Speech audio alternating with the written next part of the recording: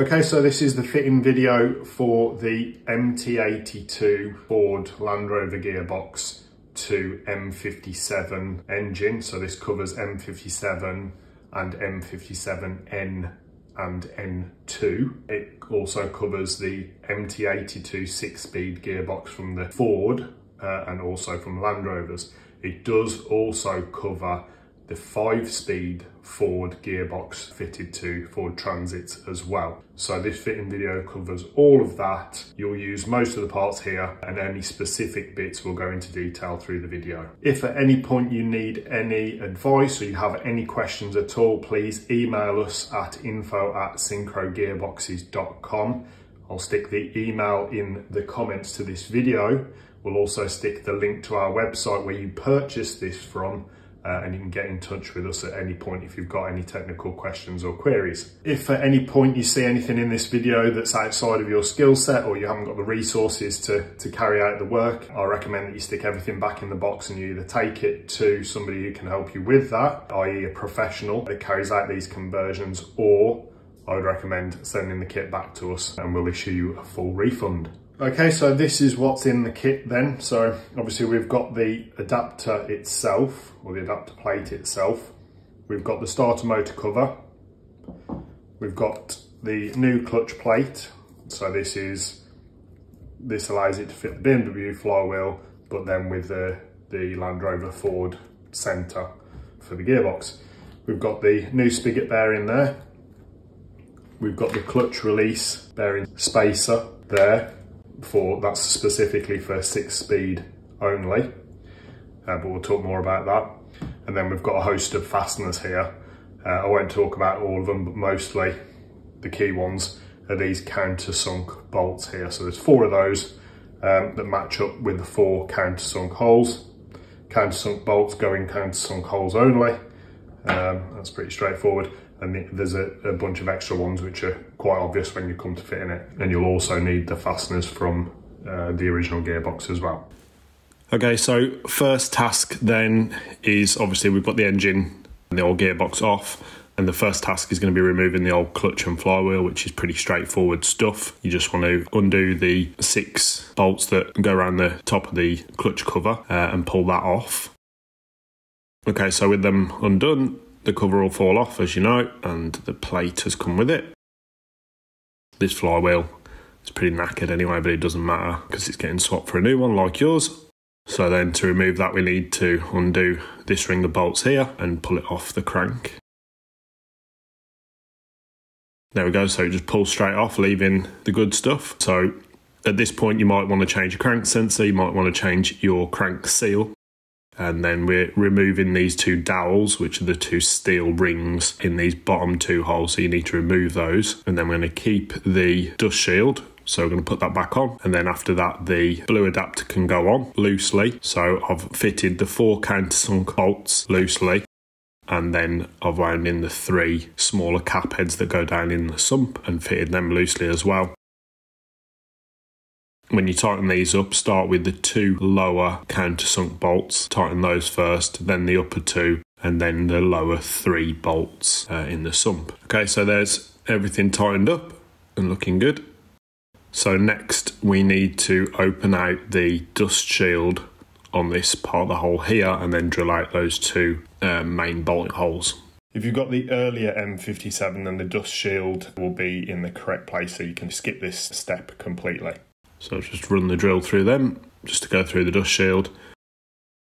And then using a die grinder, that's a carbide tip, I'm going to reshape the hole so that the starter motor will fit back in. And then just literally just grind that bit of aluminium out so that the starter motor fits as it should. And then the next bit, we're just going to cut out that bit of the dust shield there where the dowel goes. So now it's in a different position. So we're just going to cut that out like we've done here. And that will allow the dowel for the starter motor to be fitted. There you go. Both bolt holes fit in, the dowel will go, and uh, she fits in the hole with the dust shield as well. So the next job is putting in the spigot bearing. So that goes in the end of the crankshaft here and it sits flush with the end of the crankshaft. When you come to fit in this, do not hit it directly with a hammer. Use either a piece of wood or a proper bearing tool. So next job is to fit the new flywheel. So this is the new flywheel here. You need the correct flywheel obviously. Either it's a replacement for your existing one or if yours has a spigot bearing built into the flywheel then it's the wrong flywheel and you need to get a different one that has a through hole like this. So next we need to bolt up the flywheel using the new flywheel bolts that come with your new flywheel and torque them up to the specs that will be in there with your flywheel. Next on is the clutch. So this is the clutch kit here. So it's a BMW, standard BMW cover and then the plate is going to be the plate that comes in our kit. Now it might not look like this, in fact it definitely won't look like this because this was just a demo one so we could build it up. So your clutch plate that comes in the kit will look different. So just using a clutch alignment tool um, that we've got on the website that you can order as well, we're just going to fit the clutch plate and then drop the cover over the top. Um, so tightening this down, standard torque specs that will come with your flywheel probably in your clutch. So here's a shot of the clutch plate that'll actually come with the kit. We used to use a different type of clutch plate, uh, which is the one on the left, but uh, the one that will come in the kit is the one on the right now. So all assembled, the clutch alignment tool moves freely, so we know it's all aligned nicely and we can get to bolting up the starter motor. So just want to check at this point that everything works as it should. So I've bolted up the starter motor temporarily and I'm just going to run it up and make sure that, that there's nothing wrong, you know, that everything clears. And I don't want to find out when, when all this is in the car that there's a minor issue that we need to address. So I've just thrown the starter motor on and we're just going to check that it works. So I can see here just by spinning the starter motor up that, that the flywheel moves nicely. There's no odd noises and everything's running true. So it's all good. Nothing's catching, anything silly like that. And in fact, here's a quick shot of us running it up and the engine running. So everything's good there. Okay, so that's the engine side of things sorted out and the adapter and clutch and everything's all fitted, which is great.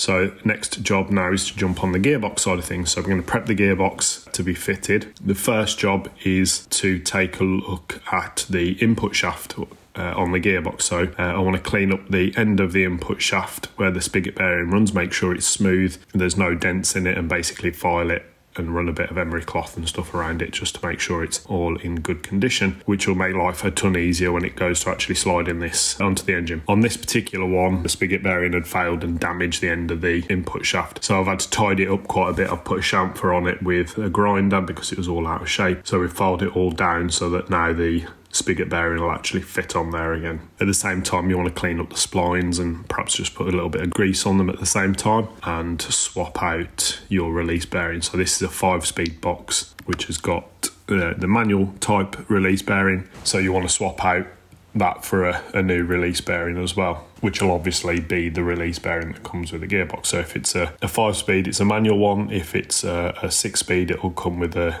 concentric slave cylinder. All right, so next job is sorting out the bell housing for the starter motor cover. So to do that, we're going to take the adapter plate. So this is just another adapter plate that we're using to do this with. It's exactly the same as the blue one, but we're just using it for this starter motor job. So first up, we're going to put the dowels, the gearbox dowels into the adapter, which will align the adapter with the gearbox when we put it on like this. And then you can see here at the starter motor hole that the starter motor, if you tried to fit the starter motor, it would foul on the bell housing. So we need to cut that part of the bella housing out so that it clears the starter motor. And then we've got this cover that goes over the top, um, basically to replace the, the part of the bell housing that's going to be missing and just cover the end of the starter motor neatly. So it's pretty straightforward. Obviously, we need to, to cut that section of the bell housing out. So I've just by eye lined up the starter motor holes on the bell housing there and marked it out like so and then cut it out with a grinder. You don't have to cut it out with a grinder. You can, if you've got a different way of doing it, you can do. But we've just cut that out and, and basically just got it to the point where the starter motor cover fits like that. And there's a couple of ways you could do it. You could modify the starter motor cover if you wanted to and leave the gearbox um, slightly more intact, or you could do what we've done here and just cut it out so that it clears the starter motor cover completely. At that point, you could actually weld the starter motor cover to the bell housing so it then effectively becomes part of the bell housing um, or you could just leave it as we've left it in this video. So the starter motor cover has the holes threaded, uh, as you can see here, and we decided to give to do that to give you the option of which way you wanted to bolt the starter motor. So conventionally in the BMW, the the bolts go from the rear into the starter motor, so the th starter motor holes themselves are threaded. Um, and because this this kit will go in a bunch of different applications, we threaded these holes, which means that you can have the choice whether to put the bolts in from the front or from the back. Um, so on this application, actually, we're going to bolt them from the back into the starter motor as they normally would be, which means we're going to drill out the threads in this starter cover. In other applications where you can't get to the back of the bell housing in the car because the bulkhead's in the way, for example, then uh, it would be a good option to drill the threads out the starter motor and put the bolt in from the front. Okay, so at this point I'm putting the gearbox on and I've shoved it all the way on without the dowels, basically to ensure that it that it does go on fully. What you don't want to do is be putting the gearbox on and then pulling the gearbox onto the adapter or onto the engine. With the bolts, it should push on freely itself. Obviously, you will have a little bit of resistance from the clutch slave, um, particularly on the six speeds, but it should push on freely with the dowels out. So here you could just run a bead of sealant uh, and then make own cover for the old cam, uh, the old crank sensor hole and the old starter motor hole, uh, or you could weld the new cover onto the bell housing as I mentioned. So on this hole here, which is on the left hand side of the gearbox, you might find that the through hole is blank and that's because the sump is behind the adapter plate and there's no hole in the sump. All you need to do is run a drill bit through there, which is easier with the gearbox off, and uh, then you'll be able to put a nut and bolt through. So the next bit of gearbox prep is fitting the clutch slave bearing shim. So this literally places over the end of the clutch release bearing. This is only for six speed MT82 gearboxes with the concentric slave cylinder like we've got here. If yours doesn't look like this and it's a manual clutch then you don't have to do this step but if it does you do. Obviously your slave cylinder will be in your bell housing so it just drops over the end of the slave.